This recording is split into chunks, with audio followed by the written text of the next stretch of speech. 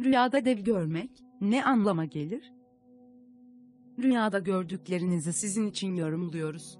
Dev görmek bir anlam taşır mı? İyiye mi işarettir? Hayatımı etkiler mi? Rüyada dev görmek.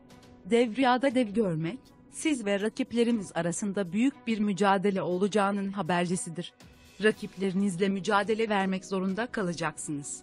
Eğer dev sizden kaçıyorsa, zenginliğin ve başarının işaretidir. Kişinin dev ile savaşması, düşmanlarını yenmesi ve başarılı olması. Devamını, Rüya Tabirleri kitabı.com'da okumak için aşağıdaki bağlantıya linki tıklayın.